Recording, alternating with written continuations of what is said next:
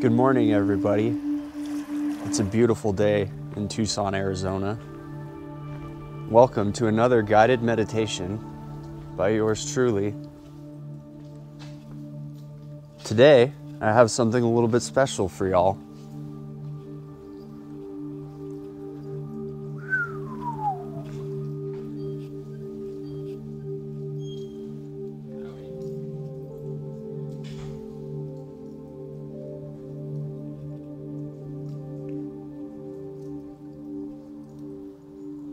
Why should you give a shit about this car? Well, um, hold on, let me make sure that I don't ruin it. Yeah, yeah. Look at that. Zoom in on that right there. Show them all. Show them. Yep, yep. That's right. It only has 7,800 miles on it. What am I doing? Well, he bought a uh, factory GT Aero kit for this thing. It's uh, sitting over in the safety of the paint booth over here. It's all OEM Porsche stuff. It's all super nice quality. And uh, I'm going to color match it and get it ready for him so that he can take it to a concours show in a couple weeks. So we got a front bumper cover. We've got the rear spoiler with the little deck lid piece. And then we've got some side skirts.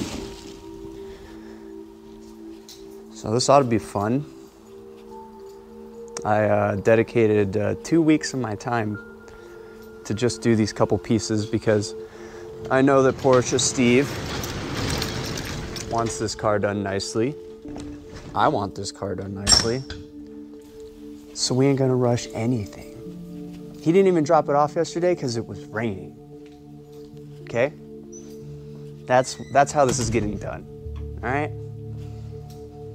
So without further ado, enjoy this guided meditation.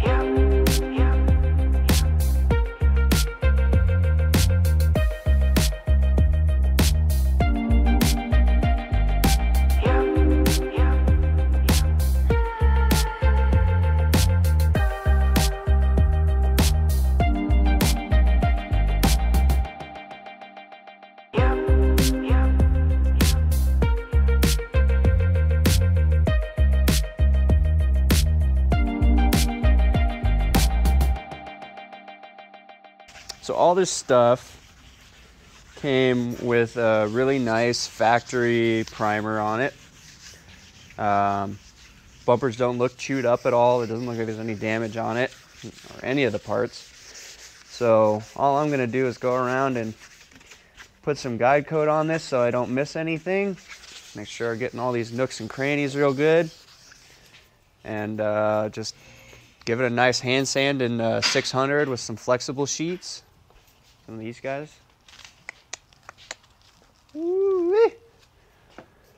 And uh, yeah, then we'll probably go over it with the scotch pad, with the scuff stuff, get it all nice and uh, cleaned up and ready to go.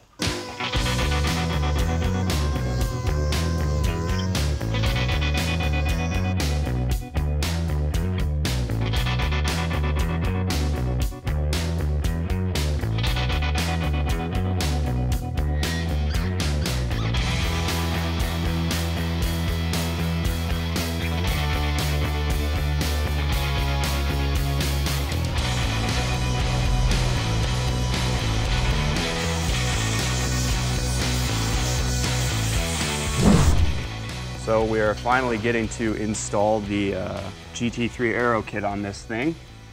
Now that it's all painted and polished up and looking pretty, and the phone's ringing, God damn it. and whoever that is can go f- themselves.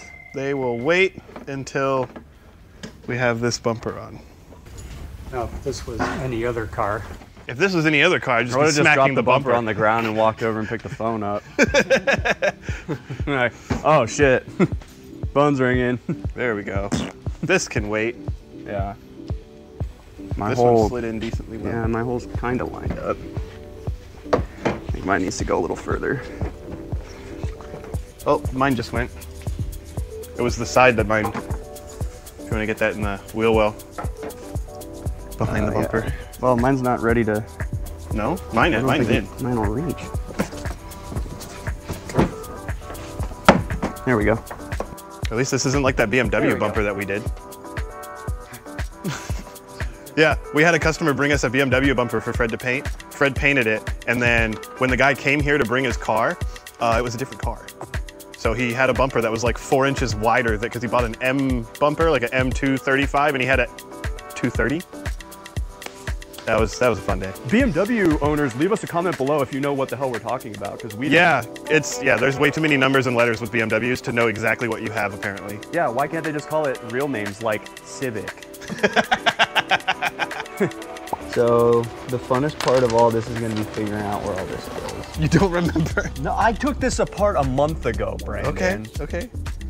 If you did, you would not remember where half the shit went. My either. memory is better So than yours. We have bags, right?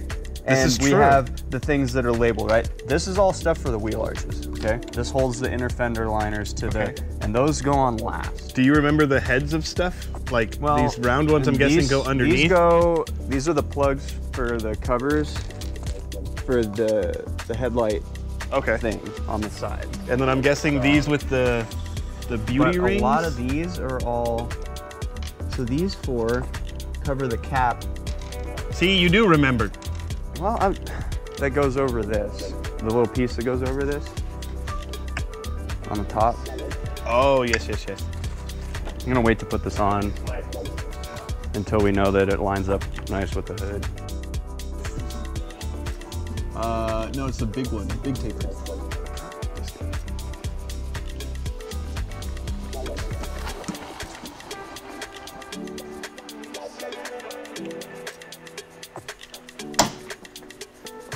Oh, that's so unsettling. Um, one, two, three, four, five, six, seven. Look at that. I think those are for that.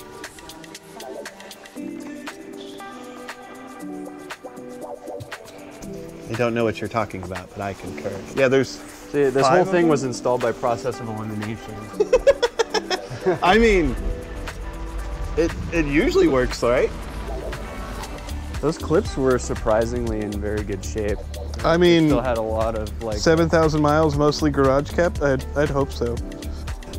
Well, the bumper's on, and uh, I didn't scratch anything. Well, the headlights aren't in though. Damn it.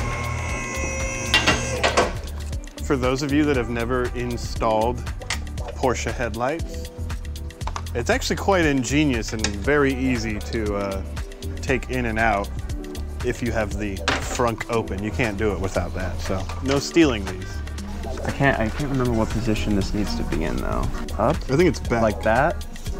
oh no, no, yeah, it, it's towards the front, but because it stops right? here, and then that flips up.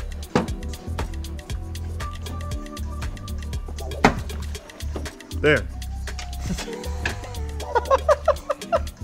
That's it. But dude, I gotta. I gotta lock it in though. Yeah, yeah. right?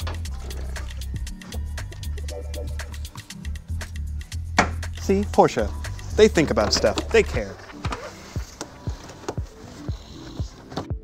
That's right. You can't slam these. You have to. Yeah, the hood doesn't weigh anything, so Yeah, no matter how hard you. that looks good. It needs to go in a little more on this side. Okay. Oh, it fits so tight on this fucking bracket.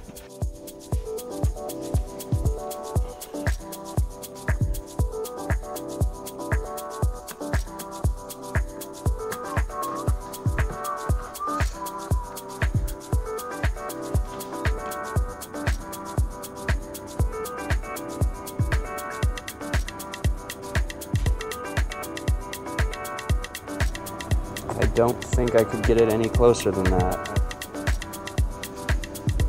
That looks good.